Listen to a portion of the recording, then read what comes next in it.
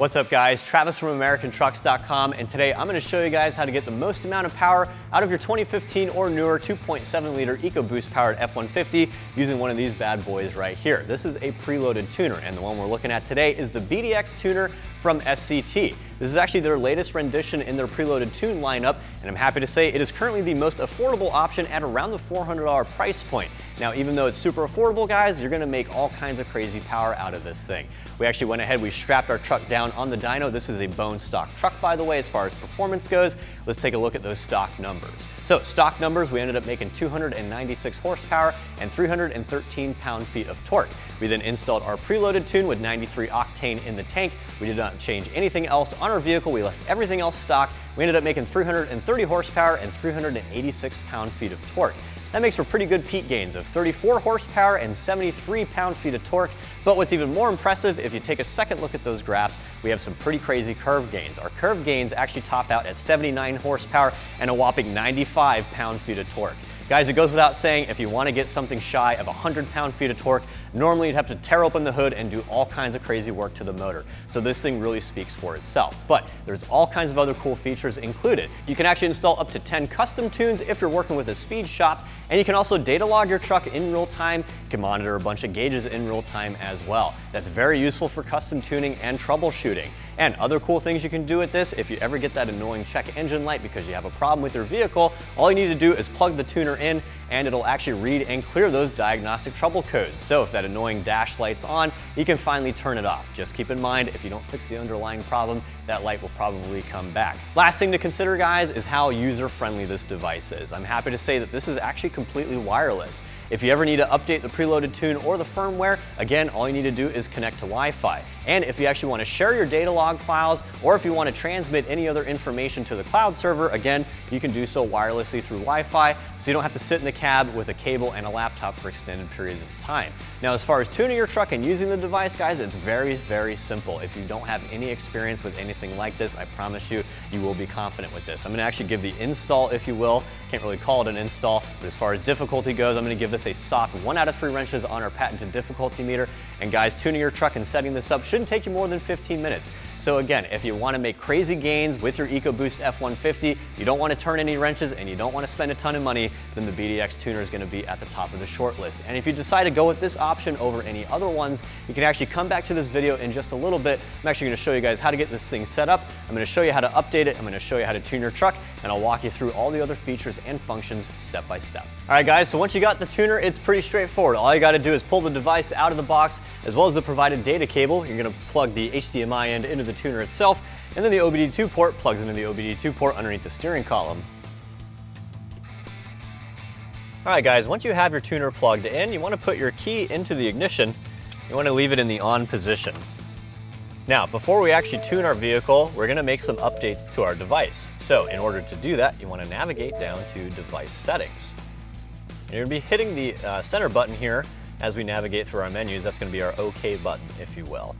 Now again, if this is the first time using it, we'll need to check for those updates. But before we do that, you need to connect to Wi-Fi. It's pretty much like a smartphone, whether it's Android or iOS. So you're gonna go into Wi-Fi, it's gonna wait a moment, and it's gonna actually scan for all available local networks.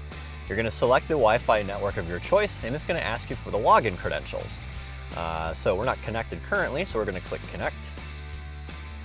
And now it's scanning for available networks. And you can see here we have all of our available networks. We're not actually going to be connecting to any of these because these are locked down for other purposes, but you would select your Wi-Fi connection, you'd hit the OK button, and you would input the password if applicable, and you'll connect automatically. Once you've done that, you're going to click on check for updates. Now, obviously, again, because we're not connected, we're not going to actually do that, but all you need to do is click on check for updates, and the device will automatically download any applicable updates. Once you've done that, you can exit out of device settings, and you can go back up to program vehicle. This is where you're actually going to tune your truck. Now again, if this is the first time using it, you want to make sure your VIN is correct on there. You can view your VIN through your uh, front windshield there and go ahead and click confirm. And again, device updates, we've already done that, so we're gonna skip that, but if you needed to, you could click continue and it will go through that automatic update process from this tuning screen. And the same thing applies to Cloud Sync. Uh, Cloud Sync is only applicable if you're doing any data logging. We're gonna skip that for now. Now this is just a legal disclaimer letting you know this device is not legal for sale or use in California. Sorry for those of you with CARB certification requirements.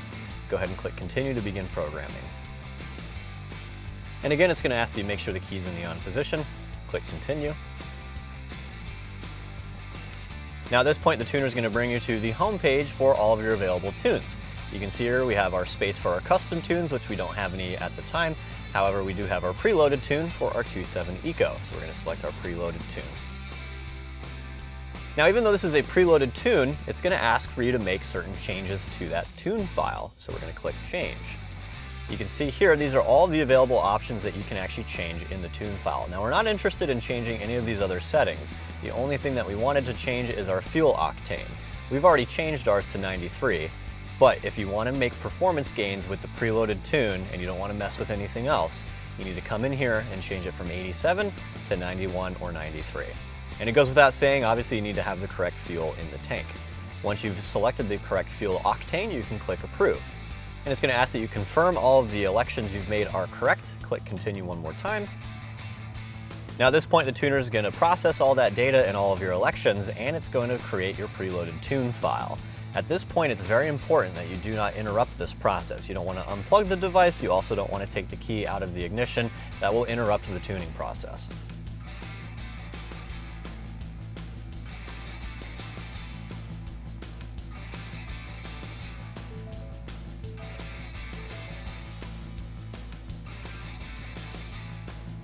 Okay, so our tuner finalized our tune with those elections, it unlocked the PCM, and it is now preparing the PCM for the tune file to be loaded. Again, very important that you don't unplug anything or interrupt this process.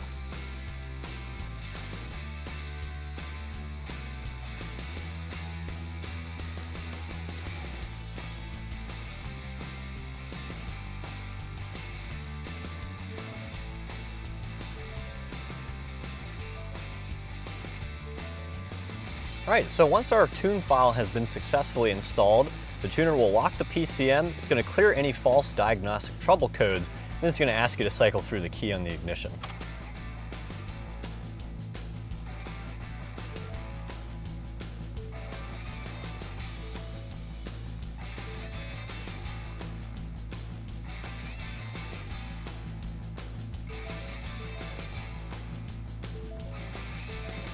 All right, so once you've cycled the ignition and it's cleared those diagnostic trouble codes, it'll give you this screen letting you know programming is complete. And that's really all there is to tuning your truck. Now, if you guys ever want to untune your vehicle, pretty simple. Simply go into Program Vehicle, confirm your VIN one more time, go ahead and skip your update and cloud sync processes, and select Return to Stock on the Street Use Notice page. Keep in mind, when your truck is tuned, the device is locked to your vehicle, so you will not be able to use this tuner on any other vehicle while you have a tune installed. Now, if you guys want to stick around, I'm going to show you all the other functions and features of our tuner. Next up are gauges and data logging. The tuner is pretty cool because it allows you to monitor all the parameters located inside the PCM in real time.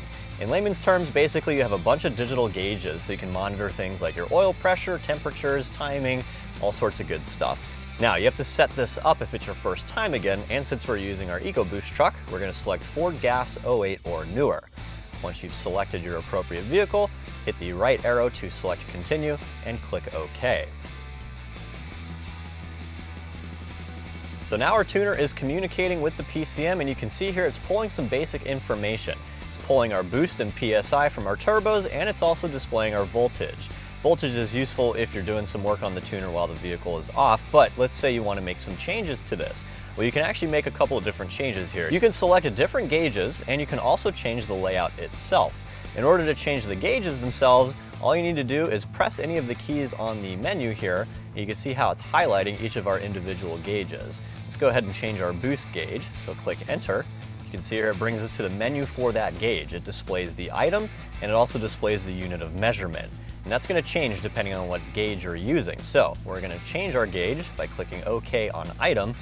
Let's go ahead and monitor our coolant temperature. As you can see here now we have our unit in Fahrenheit. You can change it to Celsius if you want to, but we're gonna leave it as so. We're gonna hit approve and our new gauge is now built. Now it's displaying our coolant again in real time.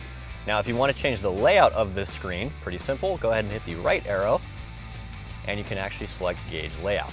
You can see here by default we have our two gauges, There are a bunch of different options. You can have, I believe, up to eight at one time. And you can see here we have our new layout and same process if you want to make any changes here, simply navigate using the arrows.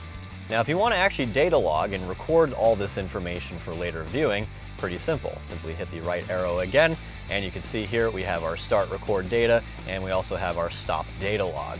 Once you hit start record data, you can see we have our little recording symbol in the middle there. That's now recording all the information from the PCM, even information that's not being displayed on here. That's useful for custom tuning and troubleshooting. Now if you want to stop this, hit stop data log, and it'll bring you back to the home screen automatically, and it'll automatically save that file inside the tuner. In order to retrieve that file, you'll need the USB cable provided in the kit, which you'll plug into your desktop. Uh, next up on our list here are vehicle functions. Vehicle Functions is personally one of my favorites because this allows you to read and clear diagnostic trouble codes, more commonly known as that annoying check engine light. If you have a check engine light and you want to figure out what it is, very simple, simply select read DTC codes. You have to have your key on in the ignition because the PCM has to be fully connected. So go ahead and click continue. And if you did actually have a diagnostic trouble code, it'll display an alphanumeric code on this screen. You can pop that into Google or whatever search engine you prefer, and it will generally give you a nice little brief description of what the underlying issue is. If you want to clear that diagnostic trouble code off of your dash, you can hit clear DTC codes. Again, make sure your key's in the on position and it will clear that light off of your dash. Just keep in mind, if you don't fix the underlying problem, chances are that light will return at a later time. Now once it's cleared those diagnostic trouble codes, simply turn the key off and hit exit. All right, next up on our list are special functions. There are a few options in here that you might need to use occasionally, and there are some options in here that, simply speaking, you should not touch. So let's go ahead and get in there and I'll show you guys all the other features that are available in here. Now it's gonna ask you to cycle through the ignition depending on whether it's on or off. Now these are all of your special functions. Now, first up on our list is KAM Reset. KAM stands for Keep Alive Memory. That's all the information stored in the PCM when the truck is not running. A KAM reset is going to give you the same effect as if you were to unplug your battery terminal. It's just going to do a hard reset on everything on the vehicle. Crank relearn, I'm not going to get into that guys. If you're a certified mechanic, you probably know what that is. And if you don't know what crank relearn is, well, it's definitely not something you should be playing around with. Um, this is usually only an option that will be performed after you've had some engine work done. For lack of better phrasing, just ignore that, don't bother with it. You can also make changes to your tire pressure monitor system, and you can also update your tire size, as well as if you've had new gears installed so you can calibrate your speedometer. If you want to make changes to the TPMS alerts, simply hit OK. Make sure the key's in the on position, click continue, and you can see it has our stock front tire PMS.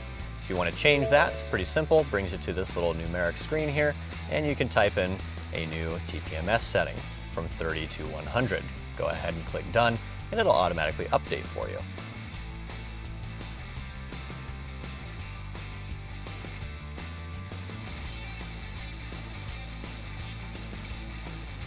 Now the functions are the same for tire size and axle ratio. Go ahead and click OK, cycle through the ignition if asks you to do so, and again, it's gonna bring you to this page here with our stock tire size, current tire size. You wanna change that, let's say we threw 35s on here, simply input that new tire size from 23 inches to 40 inches, hit done, and it will automatically update that for you. And you can do the same for the axle ratio. You can see here it did that little processing for a moment and it gave us this notification that that change was successful. So when you start driving your vehicle, your speedometer should automatically be calibrated. There's nothing else further you'll need to do.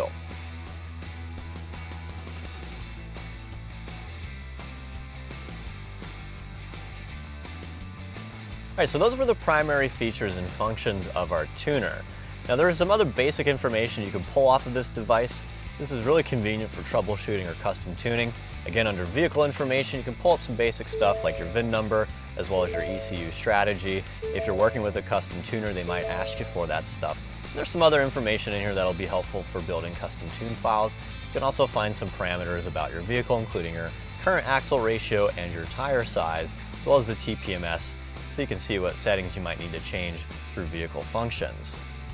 Same thing applies to device info. We have the name of our tuner, we also have our serial number, our firmware version, and we also have our preloaded tuning and custom tuning support, as well as our current tune revision, and most importantly, how many unlocks we have left on our device and whether our device is currently paired with our vehicle or not. Now you can also access some basic device settings and you can also make some changes to the device in here. So again, a quick refresh here, we have our check for updates as well as our cloud file sync. And if you do have any data log files and you prefer to upload them wirelessly, you can do so using the cloud here. That way you don't have to use the data cable. Then again, we have our Wi-Fi networks, and then we have our device settings. You can change the brightness of the screen for day and night driving, and if you want to mount the device on your dash, you can change the uh, orientation of the screen, whether you want it in portrait or landscape. You can also change the theme and color of the device, as well as power management mode when you want the device to turn on and off. You can turn on and off the beeping, as well as the startup function and where you want the device to turn on automatically but the most important function is our factory reset. If you've made a bunch of changes to the truck and the device, a factory reset will completely undo everything that you've done except for your custom or preloaded tunes. Again, if you want to untune your vehicle, you do have to go to Program Vehicle. But if you want to undo any other things that you've done, simply hit Factory Reset and it'll bring you back to stock. All right guys, so as you saw, tuning our truck only took a couple minutes and getting this thing set up is super easy. And that'll actually wrap up my review and install of the SCT BDX tuner fitting your 2015 or newer 2.7 liter EcoBoost powered F-150. I'm Travis, thanks for watching, and for all things F-150, keep it right here at AmericanTrucks.com.